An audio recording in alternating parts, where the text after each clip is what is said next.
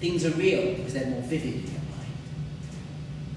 And the problem with abstractions is that they're never vivid, you're never quite sure what you're thinking. You're always jumping around and around and around. But that actually gives him a huge problem. Because at his heart, Hume wants to have a, a theory of morality that starts with an individual and thinks about that individual as somehow responsible and able to reach out to his fellow humans and exchange with them. So, if you don't have a theory of yourself, how on earth do you start off with yourself in order to reach to others, in order to form something moral, in order to form some sort of exchange, in order to be able to start anything? Why don't I just dissolve into you? And this is what Hume thinks is the importance of pride. The point about pride is, as I have a pride in myself, I have a feeling that I associate with myself.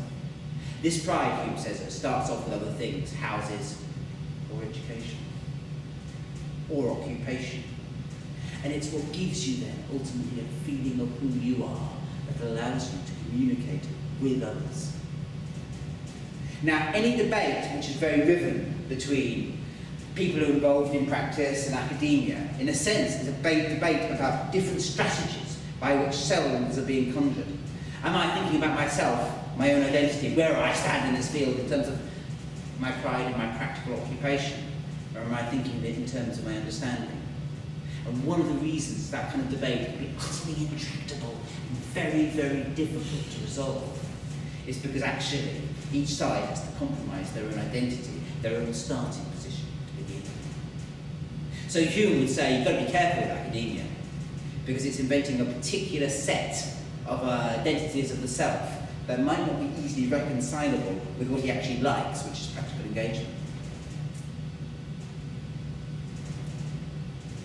Alternative point of view, backwards and forwards, will come from Kant. Kant famously understands the entire mind as a university, as a school, a sequence of faculties. And he'll say the real problem with practical learning is that it doesn't know what it's doing. The world is very difficult, he'll say, to perceive. Our brain is a confliction of different faculties. We have ability to feel and to imagine. We have an ability to have ideas. And both of them, left to themselves, will create abstract truth. And but between them, we have something he'll call understanding conceptions. And that is an ability to take imagination and pull out from it the bits that it presents to our mind that is able to endure across time and submit it to rationality. So his point would be is that you can't get rid of schools. Because if you do, you never know what you're debating. You never know what you're thinking. And all hell might break loose. But more than that, you would say, there's a deep problem of the world. That any practical man is ignoring something that is actually rather deep, which is that there's a difference between us, what we perceive, what we understand, and what actually is there. It's very easy to assume the world you perceive is the world, is the world, is the world. But Campbell say that it's not. You perceive your own perception of the world. The point then about schools is the only body the only organisation that is able to challenge that, that forces you to confront your own limitations. And unless you can confront your own limitations, you don't know what you think. So that's the history. I'm going to give you just three, quite short, just to finish up. Very direct, actually, probably people who your theorists are drawing on, though. thinkers um, all from my own particular brand of philosophy, in case uh, I, one of the reasons I have such a bloody relationship with university is that I'm fairly committed to postmodern stuff. So I'm going to talk very briefly about Foucault, Derrida, and Deleuze.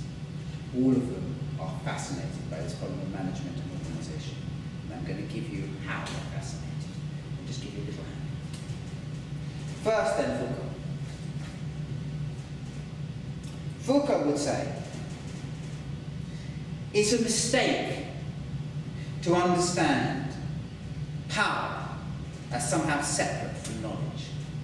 On the contrary, power needs to be understood not as some kind of power of the state, do this, but not on the Hobbes world of assumptions. It's rather that kind of quiet power we all have to reach into others' lives and organise them. That's on one hand. And on the other hand, there is the way we understand the world, the way we look at it, the way we try and use it, and the way we then try and use that understanding. Understanding then looks on power and tries to articulate it, to vocalize it, and so advance it. And the two form a strange kind of dyad. And any set of theories then is linked to ideas about the kind of world you're wanting to create, the kind of way you're reaching into other people's minds and thinking about. Endless criticism, Foucault would say, is actually just a power move. It's a power move trying to distance yourself from the world and is therefore fallacious. Foucault famously thought that it's not that this is bad, that somehow power and knowledge shouldn't be linked. On the contrary, if you're a thinker and a theorist, you should be engaging with the world that is there and trying to move it forward. He was famously involved with prison reform and with the attempt to try and rethink how you understand what you do with prisoners. So he would be very firm, but what he would not think you could do is have an open exchange between management and workers, between uh, where you're feeding back, because there's all kinds of different power relations that are kind of embodied between those relationships that would make the debate difficult, textured, and actually, if you really want a proper theory of business, you've got to be opening yourself up to the power relations and not just pretend they're not there. But that doesn't mean you just despair and give up. On the contrary, you try and understand how power is conjured up within institutions, where it comes from, why arguments win, linked to that, the kind of knowledge that power creates, the way it understands itself, and the way that understanding feeds back. And once you've got that kind of position, you can actually start to think about the world properly. What I love about Foucault is not that he's cynical, some people don't understand considerate he is, or that he's kind of very reductionist. No, but what he does is he tries to show you the kind of invisible cords that animate what you think you know and make you see it slightly different.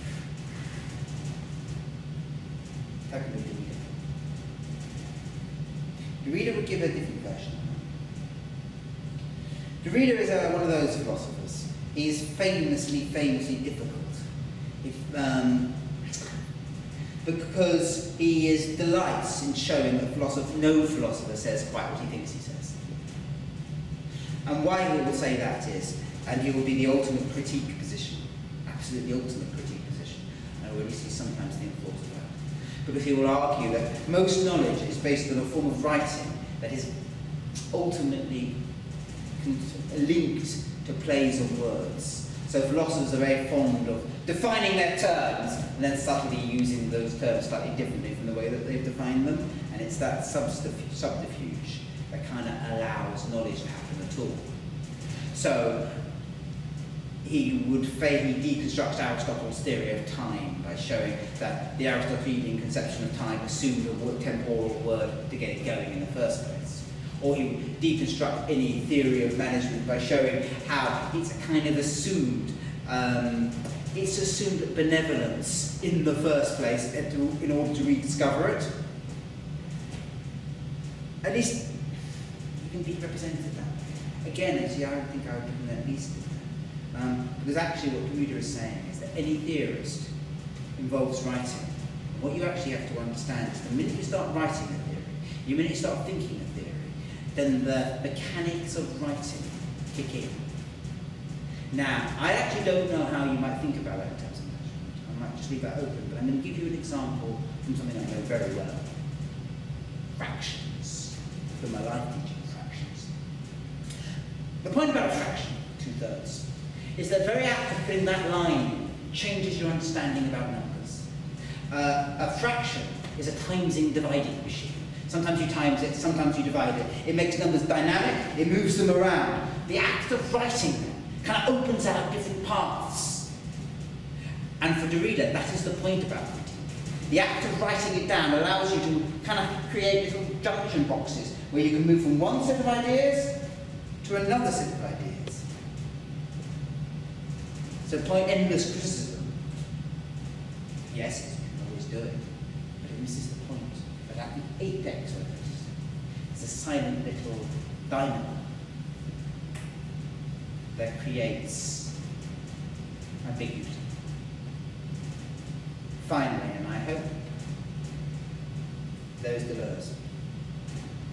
Deleuze would be very close to kind of your final point, Will, on uh, theorism, uh, on that relationship between practice and theory, where people say, I'll just get on and do what I do, and understand it in terms of what I do, because that is straight Deleuze.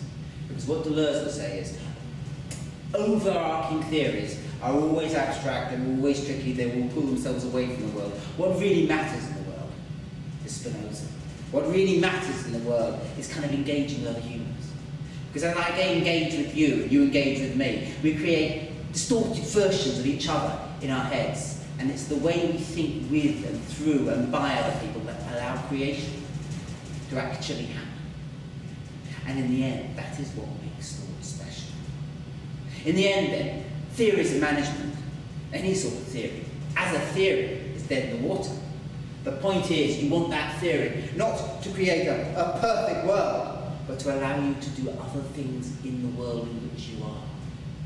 And so theory becomes, in a sense, merely a set of tools that might help you understand others, articulate them to yourself, and through them change who you